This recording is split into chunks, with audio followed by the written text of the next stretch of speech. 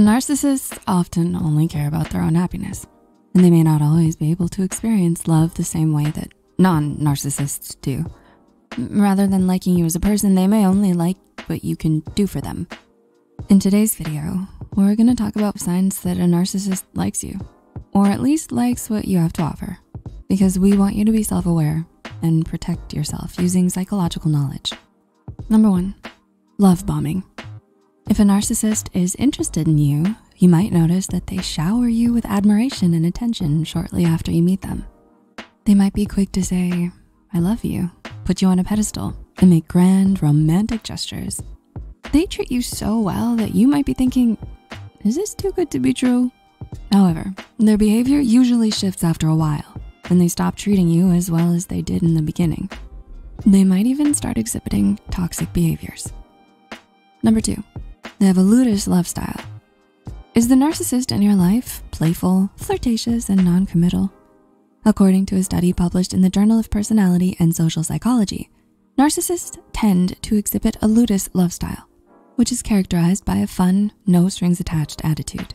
But be careful. While this type of love might sound enjoyable, it's also associated with game playing and deception. Number three, they're preoccupied with your image. Does the narcissist seem concerned with what their friends think about you together?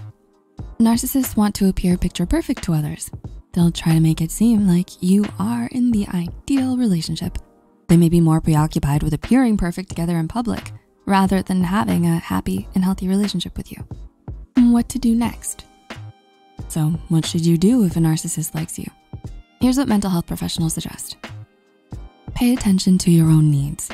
It can be easy to get caught up in a narcissist's mind games to the point where you start to care more about what they think of you than your own well-being.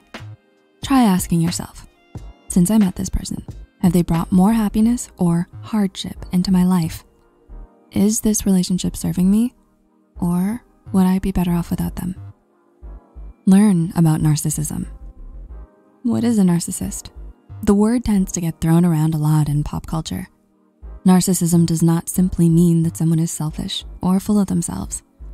NPD, narcissistic personality disorder, is a mental condition where people believe they are superior, manipulate others to get their way, and have an exaggerated sense of entitlement.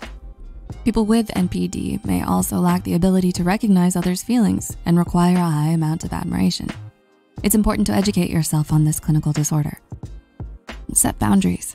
If a narcissist likes you and you decide to keep them in your life, it's important to set boundaries for yourself. For example, you don't need to engage with every argument they try to start. You may need to take breaks from this person and remind them of your boundaries. Narcissists can be very good manipulators. Know your limits and recognize when the narcissist crosses a line.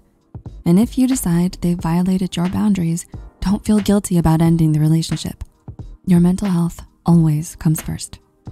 We also have a video on 10 things a narcissist would say as well from a year ago. Here,